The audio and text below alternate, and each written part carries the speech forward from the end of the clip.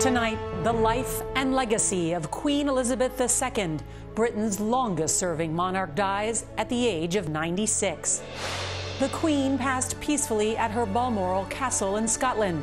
The official announcement from Buckingham Palace. Her family rushing to be by her side, including her son, the new King Charles.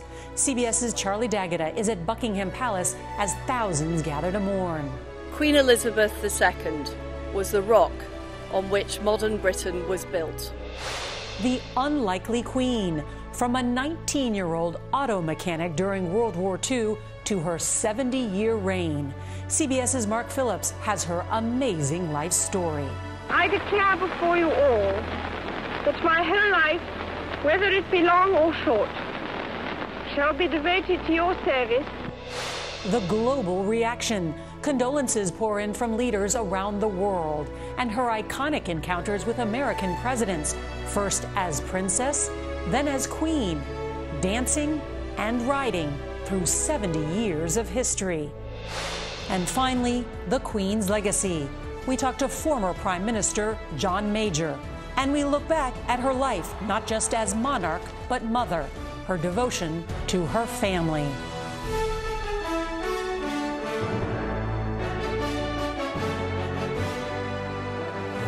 This is the CBS Evening News with Norah O'Donnell, reporting from the nation's capital. Good evening to our viewers in the West, and thank you for joining us on this historic Thursday night. The world is mourning Queen Elizabeth II, who died this afternoon at age 96, surrounded by family at her summer home in Scotland. Earlier in the day, Buckingham Palace announced that Her Majesty, who ruled over the Commonwealth for a record 70 years, was placed under medical supervision. Her doctors were concerned about her health. Family rushed to her side. In accordance with the royal line of succession, her oldest son, Charles, immediately became king, which puts her grandson, Prince William, next in line to the throne, followed by William's eldest son, nine year old Prince George. Just before her death was announced, a double rainbow appeared over Buckingham Palace as a crowd gathered. President Biden visited the British Embassy in Washington late today and left a message in a condolence book. In a statement, he said Queen Elizabeth was a stateswoman of unmatched dignity and constancy who deepened the bedrock alliance between the United Kingdom and the United States. We have a team of reporters covering the death of a queen described as a stalwart leader. And CBS's Charlie D'Agata will start us off from Buckingham Palace. And good evening, Charlie. What's the scene like there? Okay. Good evening to you, Norah. There has been an outpouring of grief and emotion here at Buckingham Palace. Thousands of people have gathered to pay tribute despite the rain. And although this is a moment that we've all been expecting, it's hard to imagine this country without her. The official notice hung on the gates of Buckingham Palace in accordance with royal protocol. The Queen died peacefully in Balmoral this afternoon. Senior members of the royal family raced to be at her bedside today at Balmoral Castle, her summer home in Scotland. Prince Charles, now King Charles, was already there. Her grandson, Prince William, who came without Kate, and the Queen's other children made their way to the royal residence. Prince Harry traveled by himself and came later. Meghan remained behind in London. On the Queen's death, His Majesty, King Charles III, issued the statement We mourn profoundly the passing of a cherished sovereign and a much loved mother. The new Prime Minister, Liz Truss, said the country is devastated. Queen Elizabeth II was the rock on which modern Britain was built. The Queen was last pictured meeting with the Prime Minister on Tuesday and standing on her own, smiling by the fire, cane in hand. The 96 year old monarch was hospitalized last October, suffering from what the palace called episodic mobility problems, forced to cut back on most public engagements since. Only appearing at a few of the events during her Platinum Jubilee, marking 70 years on the throne. She has slowed down considerably, appearing more frail in recent weeks with a significant weight loss and the death of Prince Philip in April last year, her husband of more than 70 years, paid reminder that her reign was moving into its final, inevitable chapter. Tonight, the country mourns not just the passing of a national figure, but part of its very identity, the only monarch most have ever known.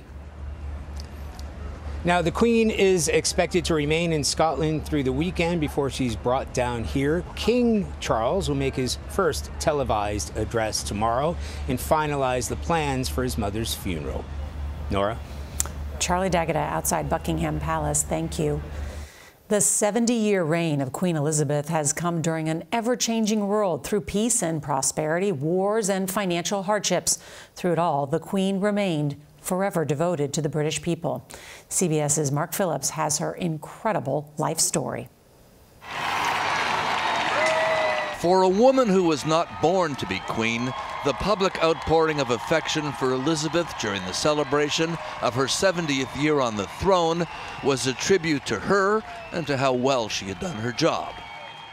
Elizabeth Alexandra Mary Windsor, Queen Elizabeth II, reinvented the British monarchy and may have saved it. Elizabeth was already 10 years old when another royal drama led to her becoming heir to the throne. In 1936, her uncle, Edward VIII, abdicated to marry the American divorcee Wallis Simpson, and the royal line shifted to her father, George VI, and so to her. The young Princess Elizabeth was already a public favorite. I am sure that you are often thinking of the old country. During the Second World War, she had worked to raise the country's morale. To make the world of tomorrow a better and happier place. And she had also served as a volunteer in the war effort. Her marriage to Philip Mountbatten, an anglicized member of the deposed Greek royal family, gave a war weary country something to celebrate. And the children the marriage produced, first Charles and then Anne, secured the future. Elizabeth's coronation in 1953 was the first ever to be televised, and it began a reign with a singular purpose. My whole life, whether it be long or short, shall be devoted to your service. But the royal ride was sometimes bumpy. The stability and continuity the monarchy was supposed to provide began to look shaky as one by one the royal marriages broke down around her, her sister Margaret's, her daughter Anne's, her son Andrew's. They all ended in awkward divorces. None was uglier than the breakup of Prince Charles and Diana Spencer. The long public unraveling of the marriage of the heir to the throne seemed to shake the very foundations of the royal household. And if that household ever came close to teetering, it was in the period following the shocking death of Diana in that Paris car crash, the national outpouring of grief seemed to highlight the emotional gap between the Queen and her people.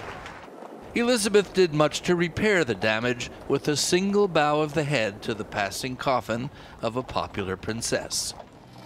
There would be other challenges, one of the most serious centering around the wife of one of Diana's sons.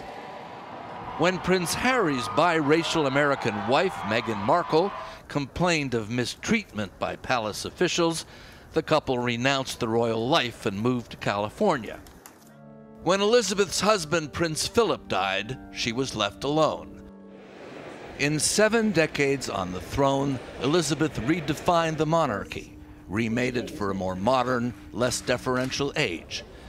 And in the process, she became not just the Queen of Great Britain, she became, in a way, Queen of the world. Mark Phillips, CBS News, London. The Queen's extraordinary global impact can be seen in the heartfelt messages from world leaders to ordinary people who felt a deep connection to the beloved monarch. CBS's Holly Williams is at Windsor Castle tonight, just outside London, where crowds have gathered to express their grief.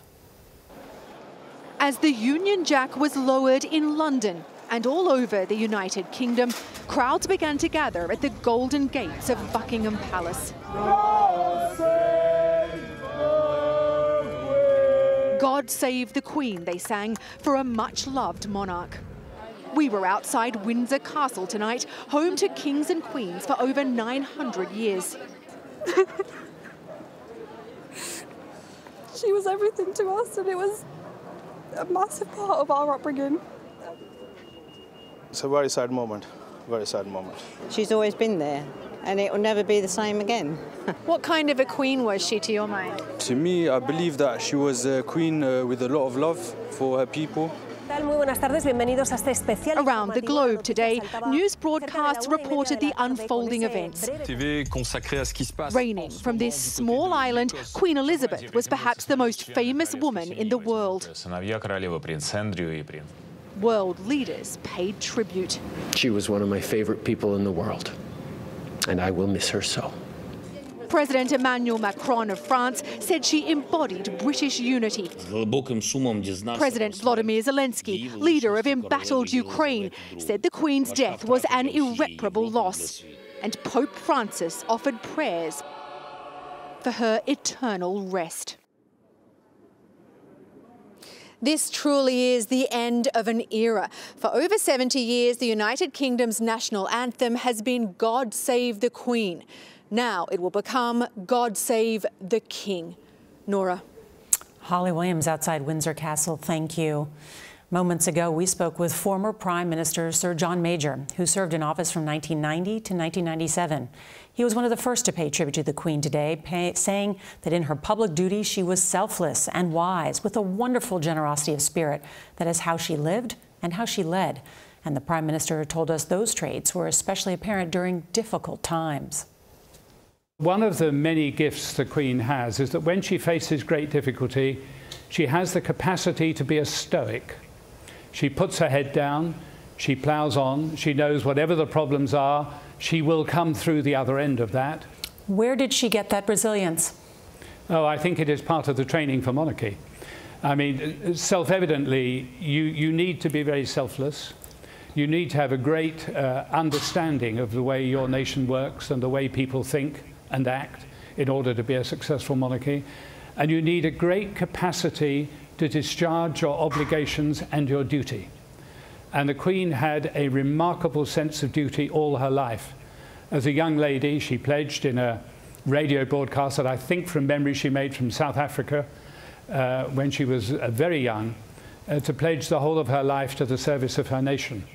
You describe her as a stoic, certainly publicly. But personally, was she emotional? Was she warm? Was she funny? Oh, oh, gosh, she was very funny, yes. The conversations with her weren't starchy, dull, boring.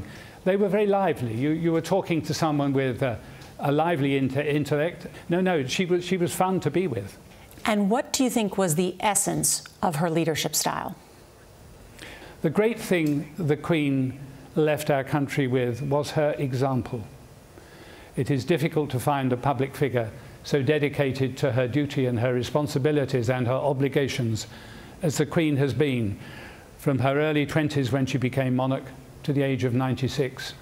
That will pass on to our new King and will pass on to our new Prince of Wales as well. As the Prime Minister said, she never retired from her duty to her country. The Queen had a special friendship with America and more than a few memorable moments with U.S. presidents. That story in 60 seconds.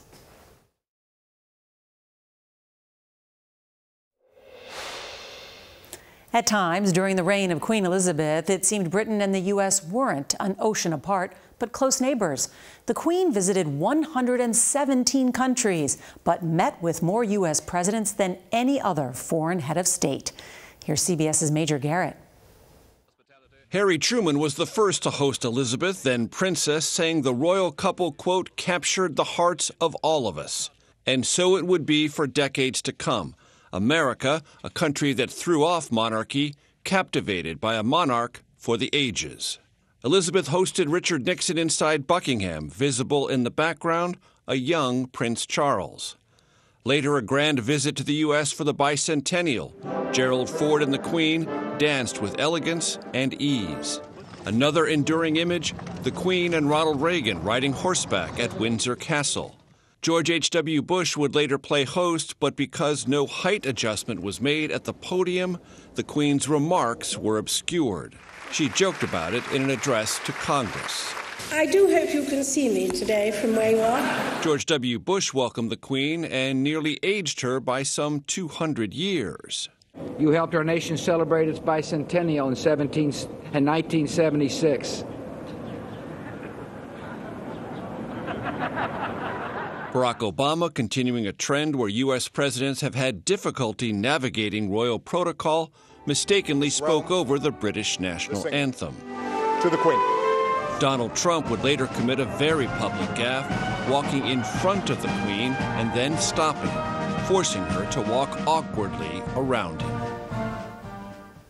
Last year, President Biden met the Queen for tea at Windsor Castle. Now, we could have shown you so many more touch points between the White House and Buckingham Palace, but even in the brief glimpses tonight, what emerges, Norah, is a deep relationship, personal and continuous, between this Queen and the American presidency. Alive for some 14 presidents, meeting 13 of them. Just incredible. Major Garrett, thank you. Well, coming up next, the Queen and motherhood, how the crown complicated Elizabeth's relationships with her children.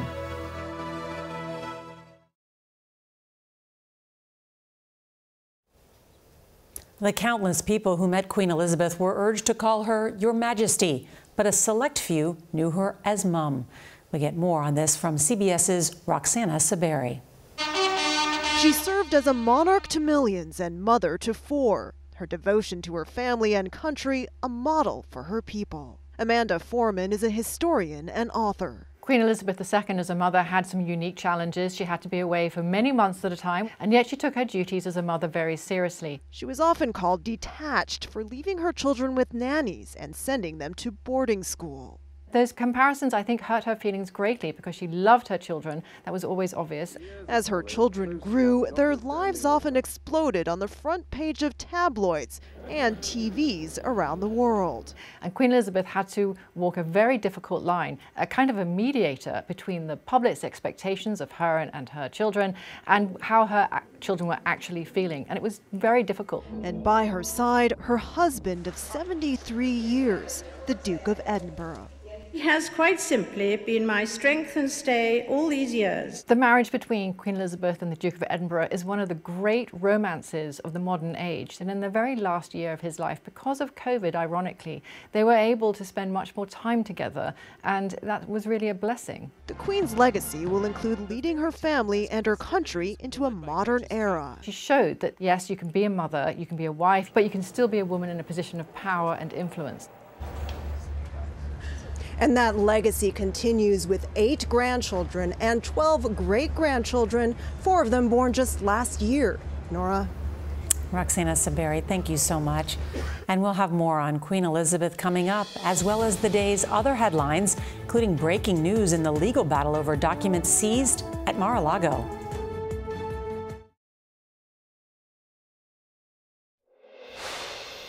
Tonight, the Justice Department is appealing a federal judge's ruling to appoint a so-called special master to review documents the FBI seized from Donald Trump's Mar-a-Lago estate. Earlier this week, remember, a judge approved the former president's request to have a neutral third party sift through the seized materials.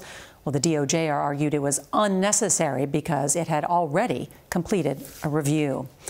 NASA today targeted two new dates for the possible launch of Artemis 1, September 23rd and 27th. The rocket will launch an uncrewed capsule on a weeks long journey around the moon and back.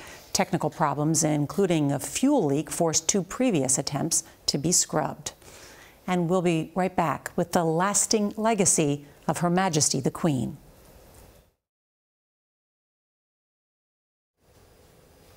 Finally, tonight, a special remembrance of the 70 year reign of a world leader. Tonight, the most spectacular image a double rainbow over Buckingham Palace that appeared just moments before the royal family announced her passing as crowds gathered to say goodbye. The rainbow to some a sign, its long arc a reminder of her long reign and her lasting legacy not just as monarch, but as mother and grandmother, a wife of 73 years, a lover of her corgis and horses. Her greatest devotion was to the service of the Commonwealth, even in her final days, working to welcome the new Prime Minister. Frail but smiling broadly. In her long life, she no doubt saw her fair share of tumult and triumph, but she will always be remembered for her strength on the world stage as iconic and stable as Buckingham Palace itself. And that is tonight's CBS Evening News. We'll see you tomorrow night from London. Good night.